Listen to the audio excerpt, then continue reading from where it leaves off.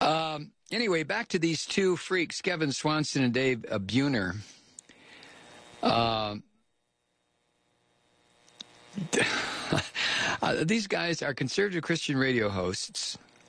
And he, th- th- this is another thing they said on the same show. Now, remember, the goal is that these women, these family destroying whores, have to be independent.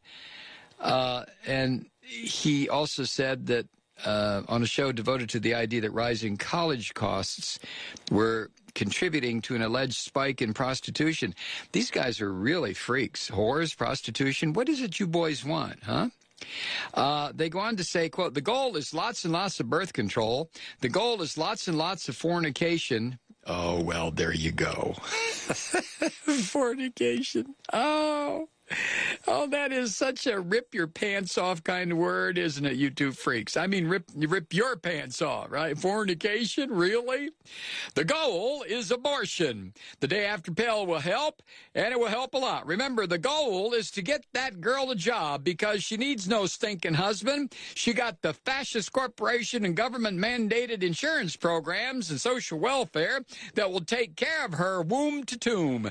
Who needs a cotton picking husband? Who needs the family. That's pretty much the worldview that dom- that's dominating my friends. That's what the college is all about. Because her feminist professors have told her her husband will abuse her, she will be like a slave to him.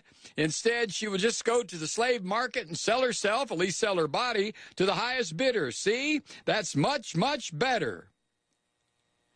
What?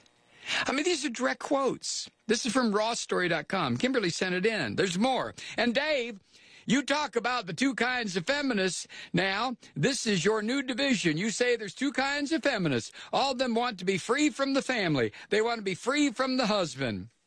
That's that's that's uh, Swanson talking, and then this Buehner freak adds, "Right, Ashley, you're talking about perhaps even a third stream of feminism. There's the Sarah Palin kind that wants to have a husband, but uh, just not one to submit to." Uh, oh, I mentioned something about the cute feminists. Oh my God! And these people get airtime. What do you want to bet? They're probably on like fifty or sixty stations. This is a sick ass country.